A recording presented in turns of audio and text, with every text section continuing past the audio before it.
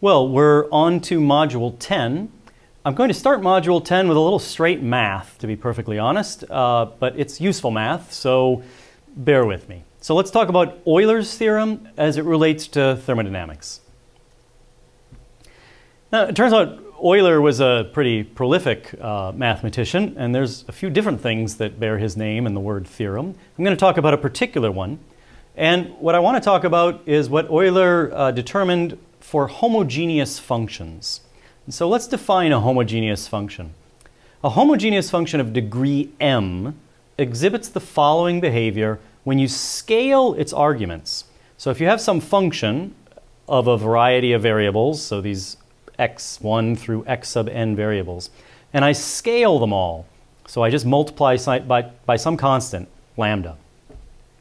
A function is homogeneous if it turns out to be the case that that value, the, the function takes on values which are equal to lambda to the mth power times the values of the function with the unscaled variables. And so m can be any power, 0, 1, 2, 3, what have you. But that defines a homogeneous function of degree m.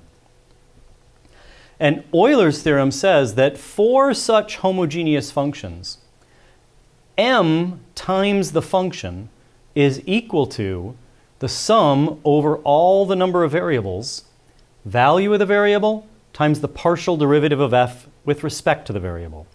And if that doesn't look particularly useful yet, there's no obvious reason it should, but it is a kind of interesting mathematical theorem. In order to prove that theorem, we may as well prove it. It's not that hard. Uh, let's differentiate both sides of this top equation, which defines homogeneous equations, by lambda. So partial partial lambda of both sides. That's not too hard. I got partial partial lambda of products of functions here basically, or nested functions. So I'll get partial f with respect to its variable. Its variable is lambda x sub 1 in this case, and then 2, and so on. So I have a sum. And by the chain rule, then I need to differentiate the variable by lambda. Meanwhile, this side is quite easy. I, here's the only place lambda appears m lambda to the m minus 1. Uh, this is a very easy derivative to do. It just takes the lambda out. Here's this x sub i. So I've got partial f with respect to partial lambda x sub i. And since homogeneity holds for all values of lambda, I can select one. I'll select 1. So when I do that, the lambda here is, is 1. It goes away, so I have that equation. And 1 to whatever power is 1. And so, sure enough, I achieve Euler's theorem. So, not all that hard to prove. Quod erat demonstratum. How is that relevant to thermodynamics, you wonder? Well, let's think about the particular case, not of all possible homogeneous functions, but homogeneous functions of degree 1. Okay, so in that case, I have f of scaling some variables is equal to whatever the scaling factor is times f. If I were to express that more in words, what I might say is double the size of my system, that would be using lambda 2, right? All my variables go up by a factor of 2. Uh, triple, factor of 3, quadruple, whatever. So, and then evaluate on with that function, and I will get back whatever the value was for the smaller system times that scale factor. So double the size of the system, get double the energy of the original system. Uh, or whatever I was measuring. F might have been energy, it might have been something else. Double the value of the function.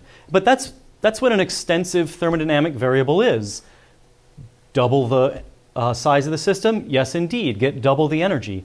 Double the uh, volume of the system, get double the volume. I guess that one's sort of straightforward. But enthalpy, you, you pick an extensive variable and that's how it behaves. So thermodynamic functions are homogeneous functions of degree 1. So uh, let's exploit that a bit and take Euler's theorem, plugging in m equals 1, and it says that the value of the function is equal to the variables of the function times the partial derivative of the function with respect to those variables. Let me take a particular example. Let's take the Gibbs free energy. And we'll do constant temperature and constant pressure. Temperature and pressure are not extensive variables, right? They're intensive variables. I'm going to hold them fixed. So that means the free energy will now only depend on, say, number of particles, for instance. And I'll use a two-component system. So I'll have two different kinds of particles, some of component 1, some of component 2. So Euler's theorem allows me to say that the free energy of these of the system containing these two components is equal to the number, let's call these moles for now, number of moles of component 1 times the partial derivative of the free energy with respect to that number of moles, plus number of moles of component 2 times the partial derivative of free energy with respect to component 2. And that's just expanding the right-hand side of the, of the uh, equation. So why is that so useful? Well, if one were forced to ask the question, answer the question of, you know, what's the free energy for this mixture, that might be a hard question to answer. This looks a little bit more tractable because it seems to say, listen, I really can only focus on one substance at a time and sum together some quantities to understand the quantities of a mixture. Moreover, we actually already have a definition for these derivatives. Those are the chemical potentials. So if I were to write this in a really formal mathematical way to try to emphasize what's being held constant and the like, I would write that the free energy, which is a function of the number of moles of component 1 and component 2, and takes as parameters fixed values of pressure and temperature, so P and T fixed, it will be equal to number of moles of 1 times, and I'll not, now I'll just write this with the shorthand we use, the chemical potential for 1 which depends on pressure and temperature, and N2 times the chemical potential of 2. So that notation is there to really emphasize that we want to, uh, we're holding P and T fixed. If we use a different P and T, the chemical potentials will be different, the total free energy will be different. Often we will not emphasize that again and again. We'll just write it in a somewhat shorter form that G is equal to N1 mu1 plus N2 mu2. So let, me do that slightly differently. I'll do an alternative derivation of that last equation. So what I could do is just take the total differential of the free energy with respect to all its variables. And in this case, for the first time, I'm including two different substances. In the last module, we just worked with a single substance. Now I want to work with binary mixtures.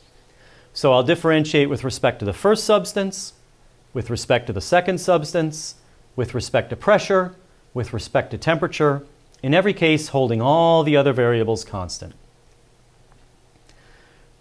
If pressure and temperature are constant, these last two terms drop out. So I will get dg equals mu dn1 plus mu2 dn2. And now, if I play around a bit with boundary conditions, and so the textbook actually does it this way.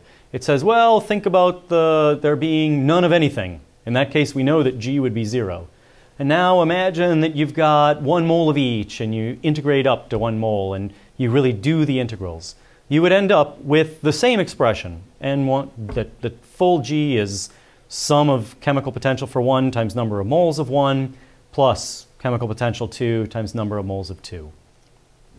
But Euler's theorem is, is completely general right? It avoids us having to do that kind of boundary value analysis for every single extensive variable we may be interested in. And it just immediately allows us to write down number of moles of things times partial derivatives of things. And that can often be considerably more convenient. And so we'll probably exploit that more in the future. And the future, of course, will begin in the next video. And in that video, we'll look at partial molar quantities in general, and we'll look at something called the Gibbs-Duhem equation.